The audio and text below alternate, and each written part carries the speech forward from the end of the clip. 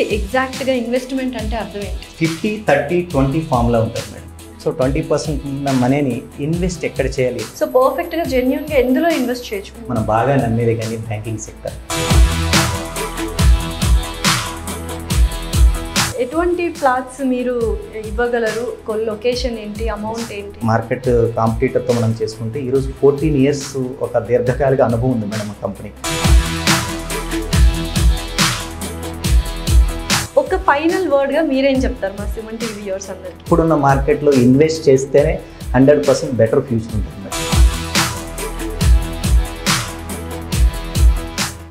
welcome to Suman TV so ఇప్పుడు అందరూ డబ్బు సంపాదించాలి అనే కోరిక ఉంటుంది. సో డబ్బు సంపాదిస్తారు బట్ ఎటువంటి వాటి మీద ఇన్వెస్ట్ చేయాలి ఎలా సేవింగ్స్ చేయాలి అనేది మాత్రం చాలామందికి డౌట్స్ ఉంటాయి.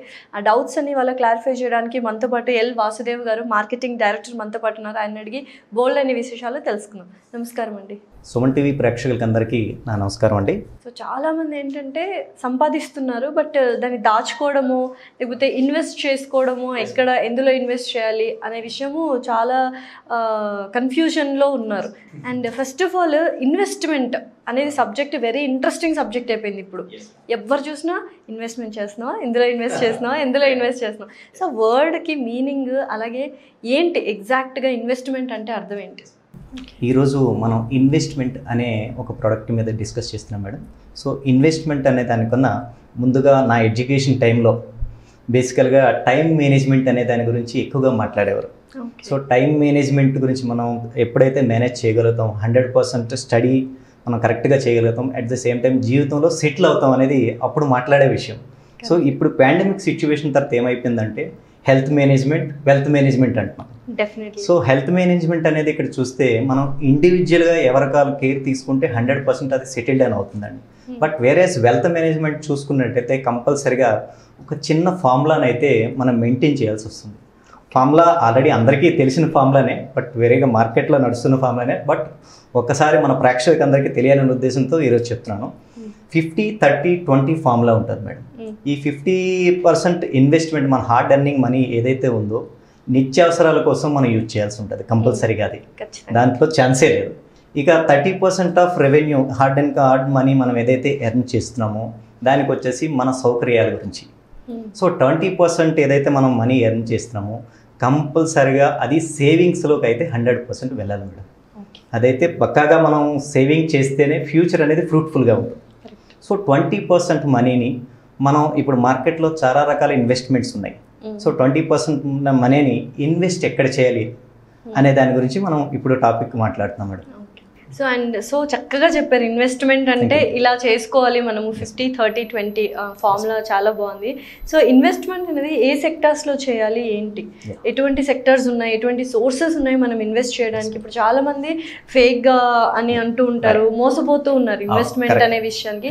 సో పర్ఫెక్ట్గా జెన్యున్గా ఎందులో ఇన్వెస్ట్ చేయొచ్చు మనం? సో ఇన్వెస్ట్మెంట్ అనేది రకరకాల సెక్టార్స్ ఉన్నాయి మేడం బేసికల్గా దీంట్లో మనం ఒక్కొక్క సెక్టార్ వైజ్ మనం మాట్లాడుకుంటే first sector as for Indian mentality కానీ మనం బాగా నమ్మేది కానీ బ్యాంకింగ్ సెక్టర్. సో తర్వాత మ్యూచువల్ ఫండ్ కావచ్చు తర్వాత మనకి షేర్ మార్కెట్ కావచ్చు నెక్స్ట్ రియల్ ఎస్టేట్ కావచ్చు పబ్లిక్ సెక్టర్ కావచ్చు. ఇలా రకరకాల సెక్టార్స్ ఉన్నాయి. వెళ్తే మనం రకరకాల సెక్టార్లు మనం చూసుకోవచ్చు. బట్ మేజర్ సెక్టార్స్ అయితే మనకి ఫైవ్ సెక్టార్స్ అనేది మనం చెప్పుకోవచ్చు మేడం. సో ఈరోజు బ్యాంకింగ్ సెక్టర్ మనం ఏదైతే మాట్లాడుకున్నామో బ్యాంకింగ్ సెక్టార్ ఫస్ట్ సెక్టార్ మన బ్యాంకింగ్ సెక్టార్ చూసుకుంటే ఈరోజు after pandemic banking scenario entirely change అయింది. ఈరోజు రేట్ ఆఫ్ ఇంట్రెస్ట్ చూసుకున్నట్టయితే సిక్స్ పాయింట్ టూ ఫైవ్ నుంచి హైయెస్ట్ రేట్ ఆఫ్ ఇంట్రెస్ట్ ఈరోజు సెవెన్ పర్సెంట్ ఉంది. సో ఒక టెన్ ల్యాక్స్ ఒక ఇన్వెస్ట్ చేసే investor double of the amount expect చేయాల్సిన రోజు ఒకప్పుడు ఫైవ్ టు సిక్స్ ఇయర్స్లో ఉండేది.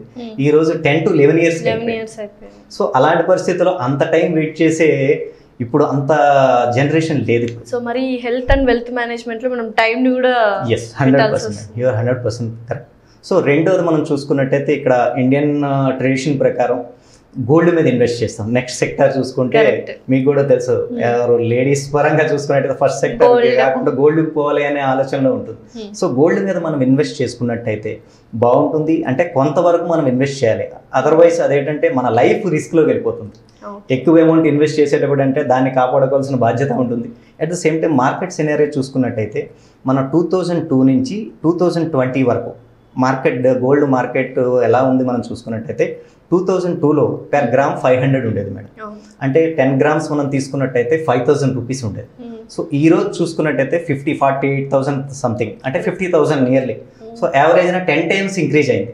At the same time risk కూడా ఉంది. Hundred percent market fluctuation Gold. ప్రకారం హండ్రెడ్ పర్సెంట్ అనేది up and down common madam. So మూడో సెక్టర్ మనం తీసుకున్నట్టయితే ఇందాక మనం చెప్పినట్టుగా మ్యూచువల్ ఫండ్స్ కావచ్చు నెక్స్ట్ మనకి షేర్ మార్కెట్ కావచ్చు. మ్మ్. ఈ షేర్ మార్కెట్లో మనం ఏంటంటే హై రిస్క్ ఉంటుంది హై రివర్డ్ ఉంటుంది. లక్ అని చెప్పు హండ్రెడ్ పర్సెంట్. హండ్రెడ్ పర్సెంట్ దీంతో పాటు మనకి ఏంటంటే ఓన్లీ ప్రొఫెషనల్ మాత్రమే మాత్రమే దాన్ని ఆపరేట్ చేయగలుగుతారు. కామన్ మ్యాన్గా ఒక లేమ్యాన్గా ఎవరు కూడా దాన్ని ఆపరేట్ చేసే పరిస్థితి లేదు. మ్మ్. మ్యూచువల్ ఫండ్ ఫండ్స్ కూడా అంతే. మనం ఇన్వెస్ట్ చేసామంటే దాని మీద సరైన నాలెడ్జ్ అవగాహన ఉంటే తప్ప దాని మీద ఇన్వెస్ట్ చేసే పరిస్థితి లేదు. ఇక ఓన్లీ వన్ ఆప్షన్ ల్యాండ్ ఇక్కడ ల్యాండ్ గురించి మనం మాట్లాడే ముందు మనిషి చేసే ప్రతి వస్తువు మీద డిప్రిషియేషన్ అనేది ఉంటుంది. సో ఎక్సెప్ట్ ల్యాండ్ సో ఈ రోజు ఈ ల్యాండ్ బిజినెస్లో నేను ఉన్నందుకు కూడా హ్యాపీ ఫీల్ అవుతున్నాం మేడం ఎందుకంటే మన మహాత్మా గాంధీ చెప్పినట్టు each and every person deserve one piece of land in India correct correct. So ఈ ల్యాండ్ ఇన్వెస్ట్మెంట్ సెక్టార్లో ఫర్ ఎగ్జాంపుల్ మనం ఇంతవరకు ఎగ్జాంపుల్స్ చెప్పుకున్నాం కాబట్టి ల్యాండ్ ఇన్వెస్ట్మెంట్లో ఎగ్జాంపుల్ చూసుకున్నట్టయితే.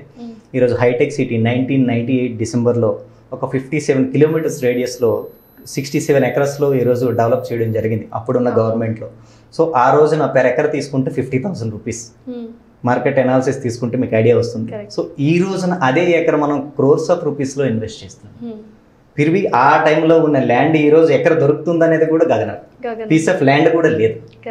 ఆల్మోస్ట్ కార్పొరేట్ కంపెనీస్ అన్నీ కూడా ఆ ల్యాండ్ పర్చేజ్ చేయడం జరిగింది. అండ్ హైదరాబాద్ అనగానే ఫుల్ మార్కెటింగ్కి అసలు 100%. నంబర్ వన్ అని చెప్పుకోవచ్చు. ఎవరైనా ఇక్కడ ల్యాండ్ కొనాలనే చూస్తారు. సో మరి ఇక్కడ కొనొచ్చా కొనకూడదా ఏంటి. సో దీనికన్నా ముందు ఏంటంటే మనం అంటే మన కల్చర్ వైజ్ చూసుకున్నట్టయితే మన ఫోర్ ఫాదర్స్ ఎకర్స్లో ఉన్నారు మేడం మ్మ్. మన ఫాదర్స్ జనరేషన్ గుంటస్లో ఉన్నారు. మన జనరేషన్కి నాకు తెలిసి యార్డ్స్లో feet. కొడుతున్నాం. స్క్వేర్ ఫీట్స్ అని square yards madam now in Hyderabad we are selling land in square yards yards next generation square ఫీట్లో hundred percent వెళ్ళిపోతుంది మేడం ఈ రోజు ఎవరైతే ఇన్వెస్టర్స్ ఒక సేవింగ్స్ త్రూ ఇన్వెస్ట్ చేయాలి అనుకుంటే ఇది this is the right time hundred percent okay so తర్వాత మీరు అడిగారు ఇందాక హైదరాబాద్లోనే ఎందుకు ఇన్వెస్ట్ చేయాలి? హైదరాబాద్ ఈ రోజు ఉన్న మెట్రోపాలిటన్ ఇండియాలో ఉన్న మెట్రోపాలిటన్ సిటీస్లో the number one safe secure city main దానికన్నా మన ఎన్ఆర్ఐ పర్సన్స్ ఎవరైతే ఉన్నారో వాళ్ళ ఫేవరెట్ డెస్టినేషన్ పార్ట్ ఇది. ఎన్ఆర్ఐస్ ఇన్వెస్ట్ చేయాలంటే first they are look for Hyderabad. Hyderabad. So దీంతో పాటు మనం హైదరాబాద్ అనాలిసిస్ తీసుకున్నట్టయితే ఎందుకు హైదరాబాద్లో ఎంత గ్రోత్ ఉంది అనేది అనలైజ్ చేసుకుంటే first of all sustainable growth madam ఎందుకంటే కంటిన్యూస్ గవర్నమెంట్ ఉంది. లాస్ట్ సెవెన్ ఇయర్స్లో సేమ్ గవర్నమెంట్ రూల్ చేస్తున్నారు. At the same time most of the cities నుంచి ఇక్కడ అంటే అక్కడ సిటీస్ నుంచి ఇక్కడికి వచ్చి సెటిల్ డౌన్ అవుతున్నారు. సో సస్టైనబుల్ గ్రోత్ అనేది హండ్రెడ్ పర్సెంట్ గ్రాఫ్ ఉంది ఎస్ ఎక్కువ 100% ups and downs growth లేకుండా. ఉంది. రెండోది ఏంటంటే మనకి మెయిన్ తీసుకున్నట్టయితే కనెక్టివిటీ Hmm. కనెక్టివిటీ అనేది most important for the real estate businessman. ఈరోజు చూసుకున్నట్టయితే ఇన్నర్ రింగ్ రోడ్ ఉంది అవుటర్ రింగ్ రోడ్ ఉంది అవుటర్ రింగ్ రోడ్ వరకు సిటీ ప్యాక్ అయిపోయింది. ఇప్పుడు as a middleman like me నేను దాంట్లోని ఇన్వెస్ట్ చేయాలంటే ఆలోచించాల్సిన విషయం Hmm. సో అదర్ దెన్ మన అవుటర్ రింగ్ రోడ్ తీసుకుంటే ఇప్పుడు కొత్తగా రీజనల్ రింగ్ రోడ్ ఒకటి వస్తుంది Hmm.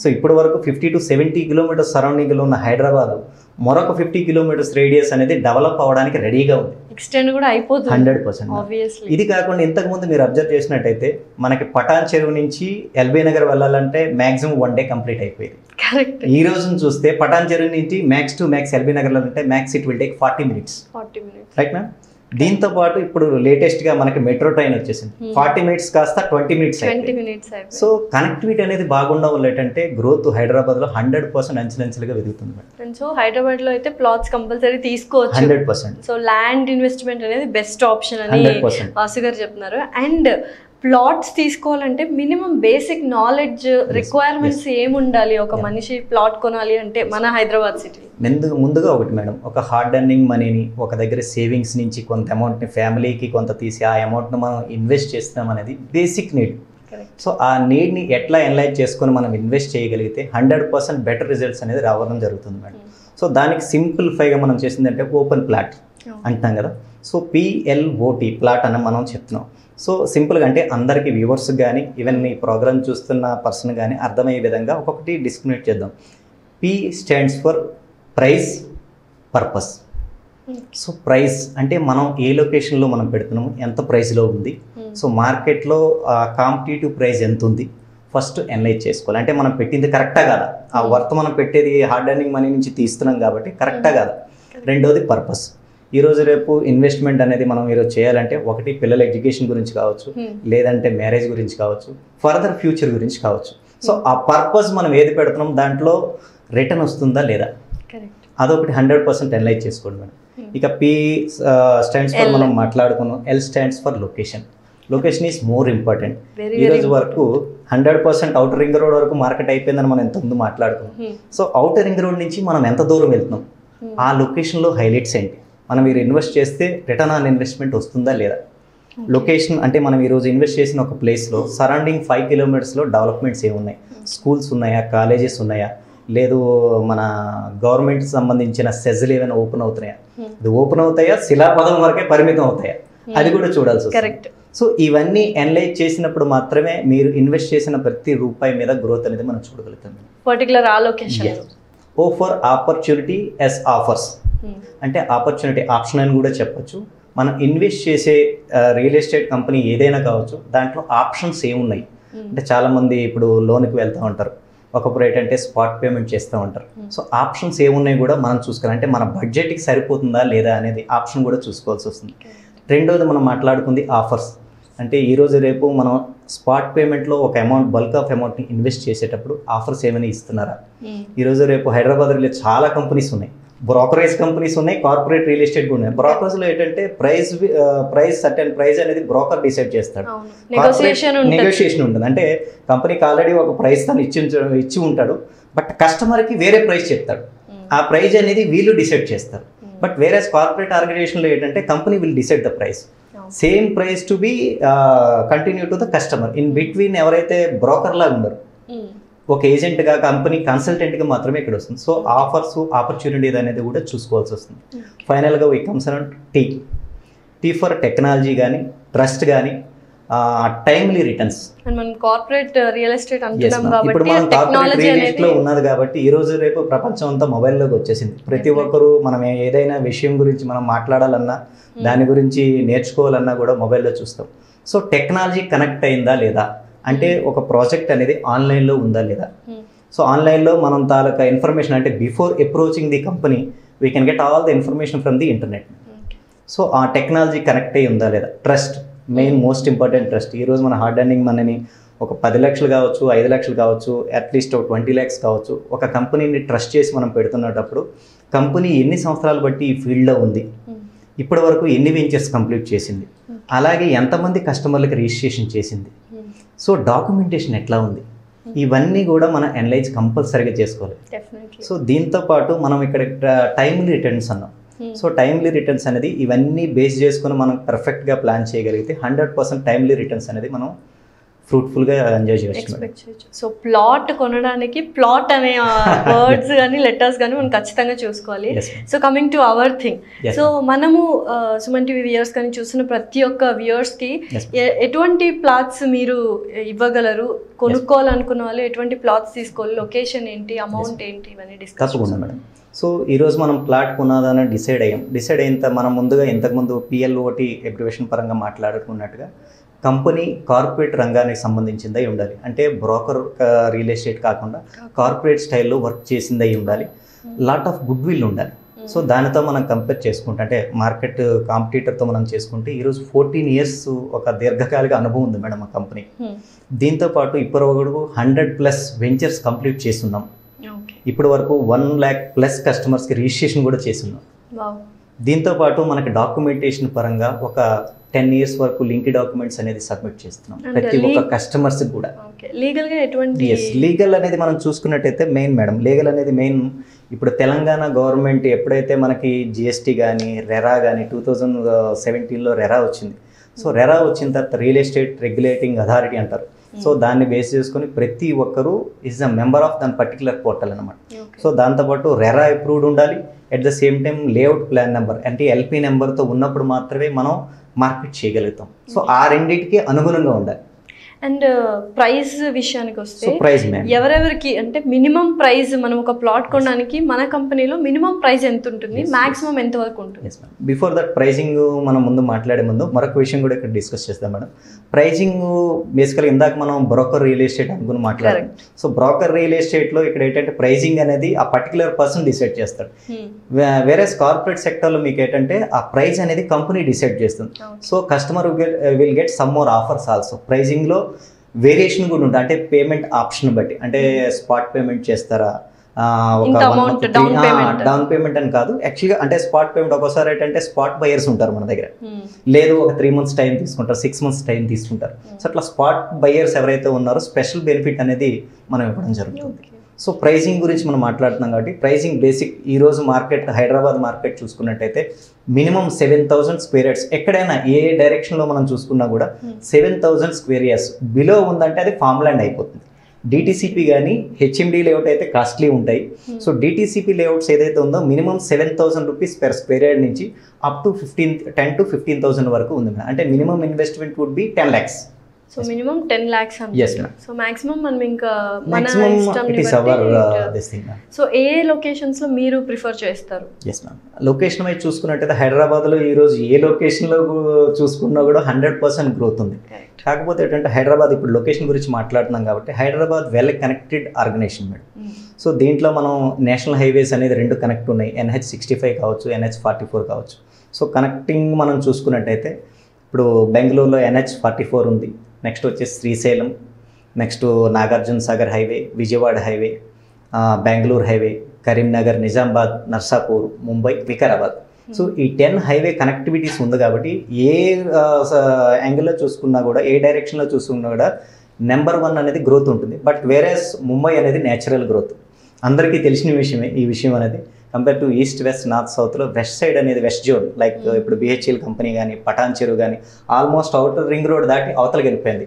Up to Zaheerabad Sangareddy Sadashivpet Zaheerabad వరకు. సో వెస్ట్ డైరెక్షన్ ఒకటి బెస్ట్గా ఉంటుంది. ఈరోజు చాలామంది ఫార్మాసిటీ కట్టాల్ నైన్టీన్ థౌసండ్ ఎకరస్లో గవర్నమెంట్ అనేది అనౌన్స్ చేయడం జరిగింది. At the same time NH forty four Bengaluru highway Kashmir to Kanyakumari highway. So దాంట్లో కూడా ఎందుకంటే కనెక్టివిటీలో మనం మరొక పాయింట్ మనం మాట్లాడుకుంది ఎయిర్ కనెక్టివిటీ ఉంది ట్రైన్ కనెక్టివిటీ ఉంది తిమ్మాపూర్ రైల్వే స్టేషన్ ఉంది at the same time bus. Connectivity transport అనేది మోస్ట్ ఇంపార్టెంట్ మేడం అంటే మన గ్రోత్కి అదొక మెయిన్ ఫ్యాక్టర్ సో మూడో ఇప్పుడున్న తెలంగాణ గవర్నమెంట్ ప్రెస్టీజ్ ప్రెస్టీజియస్గా తీసుకున్న ప్రాజెక్టు తెలంగాణ తిరుపతి అంటున్నాం.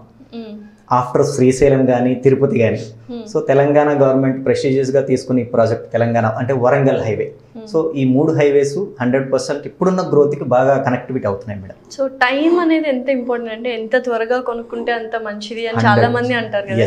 సో టైం మేనేజ్మెంట్ టైం గురించి చెప్పండి time. Period so time period అనేది మనకి బేసికల్గా ఏంటంటే అంటే బడ్జెట్ అంటే ఎవరు ఎంత అయితే ఇన్వెస్ట్ చేస్తున్నారో షార్ట్ టర్మా మిడ్ టర్మా లాంగ్ టర్మ్ అనేది వాళ్ళు ముందే డిసైడ్ అయ్యి ఉంటారు కాబట్టి అంటే ఇందాక మనం చెప్పినట్టుగా ఎడ్యుకేషన్ కావచ్చు మ్యారేజ్ మ్యారేజ్ అంటే ఆల్మోస్ట్ ఈ రోజు ఇన్వెస్ట్ చేసామంటే టూ టు త్రీ ఇయర్స్లో డబల్ రావాలని అనుకుంటారు సో అలాంటప్పుడు ఏంటంటే హైవే కనెక్టివిటీ ఉన్న ప్రాంతాల్లో ఇన్వెస్ట్ చేసినట్టయితే అది షార్ట్ టర్మ్ ఇన్వెస్ట్మెంట్ అంటాం. Hmm. అంటే ఎవరికైతే ఏదైతే రిక్వైర్మెంట్ ఉంటుందో దాన్ని మాత్రమే మనం సజెస్ట్ చేస్తాం క్లయింట్స్ కూడా. Hmm. So mid term investment చూసుకున్నట్టయితే four to five years long term investment అయితే మీకు సిక్స్ టు సెవెన్ ఇయర్స్ ఈ టర్మ్ ఏదైతే ఉందో depending on your investment particular location so దాన్ని బట్టి మాత్రమే మనకి ఇక్కడ గ్రోత్ అనేది ఉంటుంది సో ఇప్పుడైతే అట్ ద ఎండ్ ఏంటంటే మన ఛానల్ నుంచి we're promoting all kinds of real estate me through. ద్వారా అండ్. మా ఛానల్ ద్వారా అనమాట.